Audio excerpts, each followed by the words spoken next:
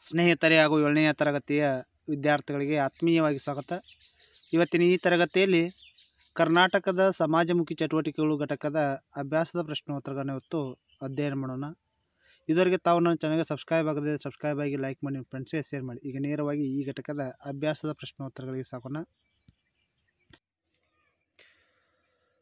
ಮೊದಲನೇ ಪ್ರಶ್ನೆ, ಒಂದು ಪದ ಅಥವಾ ವಾಕ್ಯಗಳಲ್ಲಿ ಉತ್ತರಿಸಿ. ಅದರಲ್ಲಿ ಒಂದನೇದು ತುಂಗಾ ಮೂಲವನ್ನು ಉಳಿಸಿ ಆಂದೋಲನಕ್ಕೆ ಏಕೆ ಆರಂಭವಾಯಿತು? ನೋಡಿ ತುಂಗಾ ಮೂಲವನ್ನು ಉಳಿಸಿ ಆಂದೋಲನ ಏಕೆ ಆರಂಭವಾಯಿತು ಅಂದ್ರೆ ಸಹ್ಯಾದ್ರಿ ಶ್ರೇಣಿಯ ಪ್ರಮುಖ ನದಿಯಾದ ತುಂಗಾ ಕಲುಷಿತವಾಗಿರುವುದನ್ನು ವಿರೋಧಿಸಲು. ಎರಡನೇದು, ಅಪಿಕೋ ಚಳವಳಿ ಎಂದರೇನು? ನೋಡಿ, ಅಪಿಕೋ ಚಳವಳಿ ಅಂತ ಎದಕ್ಕೆ ಕರೆಯಲಾಗ್ತದೆ ಅಂದ್ರೆ ಗಿಡ ಮರಗಳನ್ನು ಉಳಿಸಿ ಬೆಳೆಸುವ ಉದ್ದೇಶದಿಂದ ಅದರ ನಾಶವನ್ನು ತಡೆಯಲು ಭಾರತದ ವಿವಿಧ ಪ್ರದೇಶಗಳಲ್ಲಿ ಚಿಪ್ಕೋ ಅಥವಾ ಪಿಕೋ ಚಳವಳಿಗಳು ಆರಂಭಗೊಂಡವು. ಇನ್ನು ಮುಂದಿನ ಪ್ರಶ್ನೆ, ಸಾಮಾಜಿಕ ಅರಣ್ಯ ಎಂದರೇನು? ಇದಕ್ಕೆ ಸರಿಯಾದ ಉತ್ತರ, ಅರಣ್ಯ ಇಲಾಖೆಯು ನೀಲಗಿರಿ, ಅಕೇಶಿಯಾಗಳಂತಹ ಆಮದು ಸಸ್ಯಗಳನ್ನು ನೆಡ ನೆಡಲಾರಂಭಿಸಿತು ಈ ಯೋಜನೆಯನ್ನು ಸಾಮಾಜಿಕ ಅರಣ್ಯ ಎನ್ನಲಾಗ್ತದೆ. ಮುಂದಿನ ಪ್ರಶ್ನೆ ಕರ್ನಾಟಕದ ಮೊದಲ ಮಹಿಳಾ ಬಿ ಎ ಆನರ್ಸ್ ಪದವೀಧರರು ಯಾರು? ಸರಿಯಾದ ಉತ್ತರ, ಕರ್ನಾಟಕದ ಮೊದಲ ಮಹಿಳಾ ಬಿ ಎ ಆನರ್ಸ್ ಪದವೀಧರರು ಶ್ರೀರಂಗಮ್ಮ ಮತ್ತು ರುಕ್ಮಿನಮ್ಮ ರುಕ್ಮಿಣಿ ಅಮ್ಮ. ಇನ್ನು ಮೇನ್ ಪ್ರಶ್ನೆ ಸಂಖ್ಯೆ ಎರಡು ಎರಡು ಮೂರು ವಾಕ್ಯದಲ್ಲಿ ಉತ್ತರವನ್ನು ಬರೆಯಿರಿ. ನಾವೇಕೆ ಪ್ರಾ, ಪ್ರಾಚೀನ ಕೆರೆಗಳನ್ನು ಉಳಿಸಬೇಕು?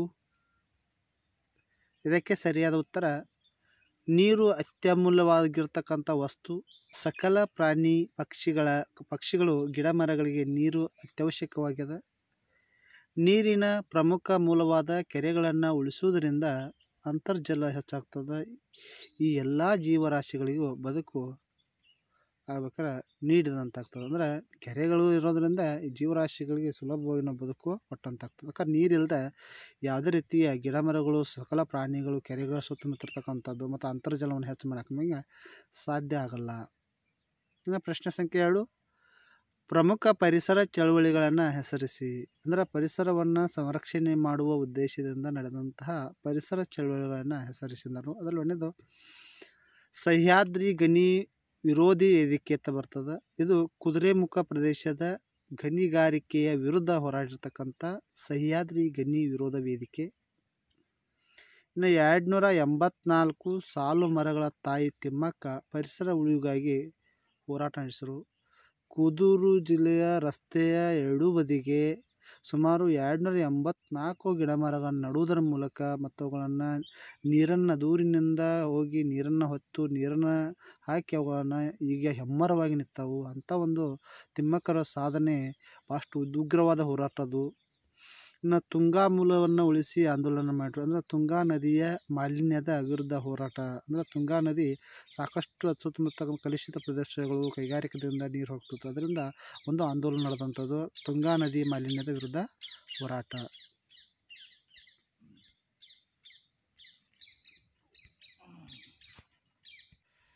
ಚಿಪ್ಕೋ ಅಥವಾ ಅಪಿಕೋ ಚಳವಳಿ, ಸುಂದರ್ಲಾಲ್ ಬಹುಗುಂಡ್ರವರು ಗಿಡ ಮರಗಳ ಕಡಿಯಲು ವಿರೋಧಿಸಿರ್ತಕ್ಕಂಥ ನಿಮ್ಗೆ ಗೊತ್ತಿರ್ಬೋದು ಚಿಪ್ಕೋ ಚಳುವಳಿ ಅಪಿಕೋ ಚಳುವಳಿ, ಇದು ಸಾಮಾನ್ಯವಾಗಿ ಅತ್ಯಂತ ಉಗ್ರವಾದ ಹೋರಾಟ.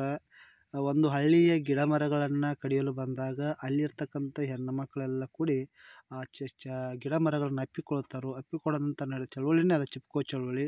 ಅದು ಸುಂದರ್ಲಾಲ್ ಬಹುದುಗುಂಡ್ರವರ ನೇತೃತ್ವದಲ್ಲಿ ನಡೆದಂಥ ಚಳುವಳಿ ಆಗಿರೋದ್ರಿಂದ ಅವರನ್ನು ಚಿಪ್ಕೋ ಚಳುವಳಿ ಅಥವಾ ಅಪ್ಪಿಕೋ ಚಳುವಳಿ ಹರಿಕಾರ ಅಂತ ಕರೆಯಲಾಗ್ತದೆ.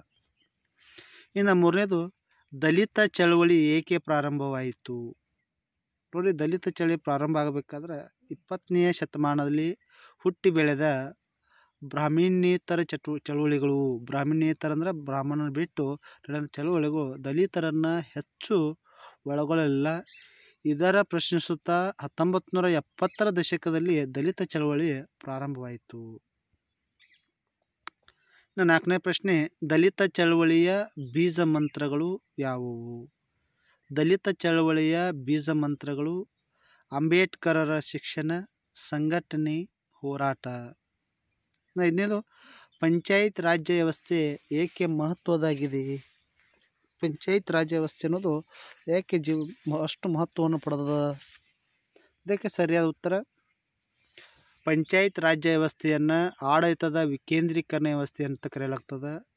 ಇದರ ಆಶಯ, ಆಡಳಿತದಲ್ಲಿ ಸ್ಥಳೀಯರನ್ನು ಭಾಗವಹಿಸುವಿಕೆ. ಆಮೇಲೆ ಹತ್ತೊಂಬತ್ತು ನೂರ ಐವತ್ತೈದರಲ್ಲಿ ಬಲವಂತ್ ರಾಯ್ ಮೆಹ್ತಾ ಸಮಿತಿ. ಈ ಸಮಿತಿ ಮೂರು ಹಂತದ ಸ್ಥಳೀಯ ಆಡಳಿತ ವ್ಯವಸ್ಥೆಗೆ ಶಿಫಾರಸು ಮಾಡಿತು. ಇದ, ಇದಾದ ನಂತರ ಬರ್ತಕ್ಕಂಥದ್ದು ಹತ್ತೊಂಬತ್ತು ನೂರ ಮೈಸೂರು ಗ್ರಾಮ ಪಂಚಾಯತಿಗಳ ಅಧಿನಿಯಮ. ಇದು ಮೂರು ಹಂತದ ಸ್ಥಳೀಯ ಸಂಸ್ಥೆಗಳು. ಅವು ಯಾವಂದ್ರೆ ಗ್ರಾಮ ಹಂತದಲ್ಲಿರ್ಬೋದು ತಾಲೂಕು ಮತ್ತು ಜಿಲ್ಲಾ ಪಂಚಾಯಿತಿಗಳಲ್ಲಿ ನೀಡ್ತಕ್ಕಂಥ ರಚನೆ. ಇದಾದ ನಂತರ ಹತ್ತೊಂಬತ್ತು ನೂರ ಜನತಾ ಸರ್ಕಾರ ಸಚಿ, ಸಚಿವರಾಗಿದ್ದ ನಜೀರ್ ಸಾಬ್ರವರ ಅವಧಿಯಲ್ಲಿ ಆಡಳಿತದಲ್ಲಿ ದಲಿತ ಮತ್ತು ದಲಿತ ಹಿಂದುಳಿದ ಮತ್ತು ಮಹಿಳೆಯರಾಗಿ ಸ್ಥಾನ ಮೀಸಲಾಗಿಸಿರು, ಇತ್ತು. ಇಷ್ಟು ಈ ಘಟಕ್ಕೆ ಸಂಬಂಧಿಸಿದಂತಹ ಅಭ್ಯಾಸದ ಪ್ರಶ್ನೋತ್ತರಗಳು. ಇವುಗಳ ಬಗ್ಗೆ ವಿದ್ಯಾರ್ಥಿಗಳಿಗೆ ಏನಾದರೂ ಗೊಂದಲವಿದ್ದರೆ ನನ್ನ ಚಾನಲ್ಗೆ ಶೇರ್ ಮಾಡಿ, ಕಮೆಂಟ್ ಮಾಡಿ ಅಂತ ಹೇಳ್ತಾ. ಇದೇ ರೀತಿಯಾಗಿ ಏಳನೆಯ ತರಗತಿಯ ಎಲ್ಲ ವಿಷಯಗಳ ವಿಡಿಯೋಗಳು ಯೂಟ್ಯೂಬ್ದಲ್ಲಿ ಲಭ್ಯವಿದ್ದು ವಿದ್ಯಾರ್ಥಿಗಳು ಸದುಪಯೋಗ ಪಡೆದುಕೊಳ್ಳಬೇಕು ಇದುವರೆಗೆ ನನ್ನ ಚಾನಲ್ಗೆ ತಾವು ಸಬ್ಸ್ಕ್ರೈಬ್ ಆಗದಿದ್ದರೆ ತಪ್ಪದೇ ಸಬ್ಸ್ಕ್ರೈಬ್ ಆಗಿ. ನಾ ಮಾಡಿರ್ತಕ್ಕಂಥ ಎಲ್ಲ ವಿಡಿಯೋಗಳು ನಿಮಗೆ ದೊರೆಯಬೇಕಾದರೆ ಪಕ್ಕದಲ್ಲಿರ್ತಕ್ಕಂಥ ಬೆಲ್ ಐಕನ್ ಒತ್ತಿ ನಿಮಗೆ ನೋಟಿಫಿಕೇಷನ್ ಮೂಲಕ ಲಭ್ಯವಾಗ್ತಾವೆ ಅಂತ ಇದುವರೆಗೆ ನನ್ನ ಚಾನಲ್ ವೀಕ್ಷಣೆ ಮಾಡಿರ್ತಕ್ಕಂಥ ಎಲ್ಲರಿಗೂ ಧನ್ಯವಾದ ತಿಳಿಸುತ್ತಾ ಟ್ಯಾಂಕ್ ಯು ಟು